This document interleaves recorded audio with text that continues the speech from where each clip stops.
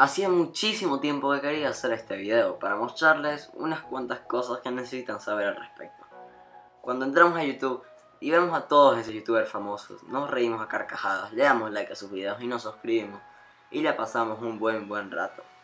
Luego viene la cosa cuando nosotros queremos ser youtubers, queremos ser famosos, queremos tener dinero y queremos que la gente nos admire de esa manera y todo gratuitamente. Así que la gente normalmente puede pensar que ser youtuber es muy muy fácil, más que todo, porque lo único que tienes que hacer es hablar frente a una cámara y diciendo cada una de tus opiniones o jugar a tu juego favorito y ganar dinero por ello, así que la gente piensa que YouTube es algo completamente fácil.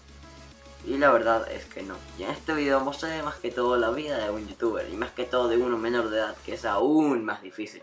Así que vamos a ello. Empecemos con lo básico, una pequeña introducción.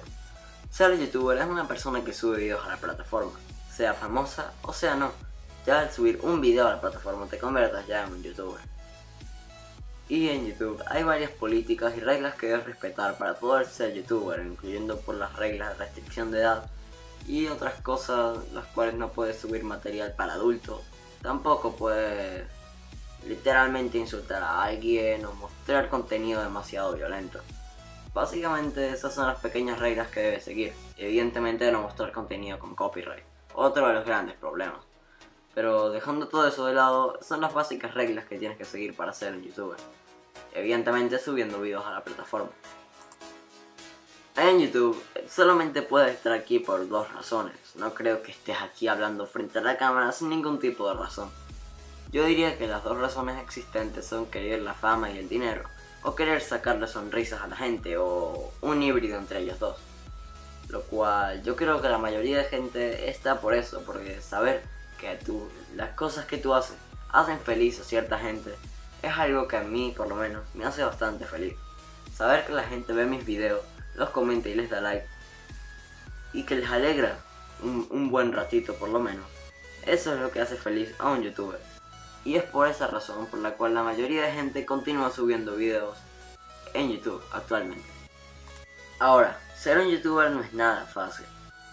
Aunque me van a decir, sí, ser youtuber es completamente gratis. No hay que hacer ningún tipo de esfuerzo, estás muy equivocado. Porque para ser youtuber hay que tener muchísimas cosas. Y puede que no te cueste dinero, pero te cuesta algo que no creo que vuelvas a recuperar en tu vida. De hecho, es imposible recuperarlo lo que te cuesta es tiempo. Tiempo, dedicación y muchísimo esfuerzo para poder al menos llegar a tener una cierta base de gente que vea tus videos. Porque así se empieza, sin nadie que vea tus videos. No importa cuánto subas, nadie los va a ver. Hasta un cierto punto, evidentemente. En mi caso, yo siendo un canal bastante pequeño, eh, llevo aproximadamente unas 60 horas gastadas en esto. Aunque pueda parecer poco, puede llegar hasta ser tedioso ser youtuber, porque al principio es divertido tener a tu base de fans y todo eso, aunque llega un punto en el que te aburres bastante. Quiero decir, tratas de encontrar otro tipo de público, como en mi caso lo que estoy tratando de hacer haciendo esta clase de videos. Aunque como dije anteriormente, no pienso dejar Brawlhalla, y hablando de eso, dejen un like si quieren que vuelva a hacer un streaming de Brawlhalla mañana mismo, domingo. Así que, bueno, bueno sin cambiar de tema, porque este video se trata de esto, quería comentarles otra pequeña cosa. Ser youtuber no es para nada fácil, como dije anteriormente. Es bastante tedioso de vez en cuando porque te sientes obligado. Hay veces que tú te sientes bastante obligado aunque no quieras y lo terminas haciendo. Sé que puede parecer un poco irónico o extraño, pero sí, uno se siente obligado. Cuando tiene una base de fans, puedes sentirte hasta presionado porque la gente te pide que hagas algo aunque tú no quieras, lo terminas haciendo para, satisfacer a tu público. Lo cual es algo bastante común porque eso es lo que es la presión. Así que si van a ser youtubers, tengan en cuenta en eso. Esto cuando llegan hasta cierto punto se puede convertir hasta en una obligación. Y que hay que cuidarlo bastante porque un canal no crece solo. Continuando con este tema, eh, los principios en YouTube.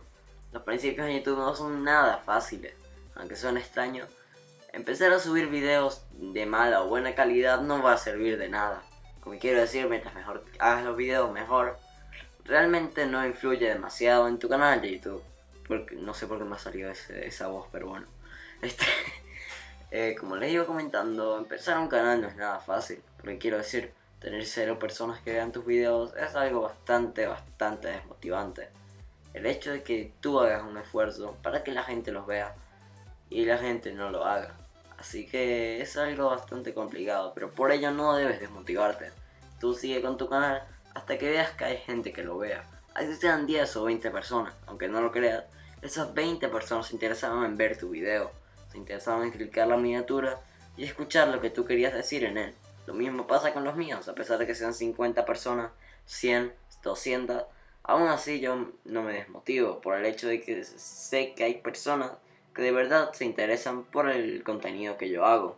Así que eso está bien, pero para una persona que va empezando en su canal, no sé que debe desmotivar bastante que nadie entre a tus videos. Por mi humilde opinión, tengo que comentarles que entren a uno que otro grupo de Facebook de youtubers pequeños, donde entre ellos se apoyan. Pero pase lo que pase, no hagan sub por sub. Eso es asesinar completamente el canal. Ya lo tuve experiencia con este canal donde obtuve entre 15 o 10 suscriptores con este método. Y créanme, no es nada recomendable. Actualmente tendría unos 219 suscriptores. Así que no lo hagan. Están consiguiendo números pero no personas. Así que no es nada recomendable utilizar lo que es este método. Puede que actualmente esté mostrando que ser youtuber es un completo infierno. Lo cual es pura mentira. Si a ti te gusta ser youtuber, hablarle a la cámara y sentirte bien contigo mismo, por así decirlo, quiero decir que la gente vea tus videos y que admire tu trabajo, creo que sí es algo bastante divertido. O algo que en verdad sí motiva bastante. A pesar del tiempo que cuesta, ser youtuber no es completamente malo. Ser youtuber trae sus cosas buenas dependiendo del éxito que tengas. Así sea con 200 suscriptores, créeme que vale la pena por la cantidad de buenos comentarios que uno recibe y la cantidad de gente que te escribe. O la gente que te exige hacer cosas, como pueden ser directos o videos. Lo cual aún así motiva, aunque suene bastante extraño que alguien te pida que hagas algo puede llevarte a motivarte si realmente te gusta lo que estás haciendo. Así que ser youtuber no es nada malo, por así decirlo, con tal de que tengas el tiempo, la, la dedicación y la motivación. Créeme que ser youtuber te va a encantar además de poder jugar tu juego favorito frente a muchísimas personas. Entre, en mi caso, entre 5 y 10 personas que lo ven al mismo tiempo. Es algo bastante, bastante divertido saber que la gente se interesa por lo que tú haces. Así que eso básicamente es todo lo que es este video. Uno bastante corto, aunque uno bastante interesante. Donde te comento lo que es la realidad de ser un youtuber. Así que si te ha gustado, comparte con tus amigos y dale un buen like y pásate por los demás videos de mi canal que también están bastante interesantes. Así que bueno, deja un like y suscríbanse y hasta luego.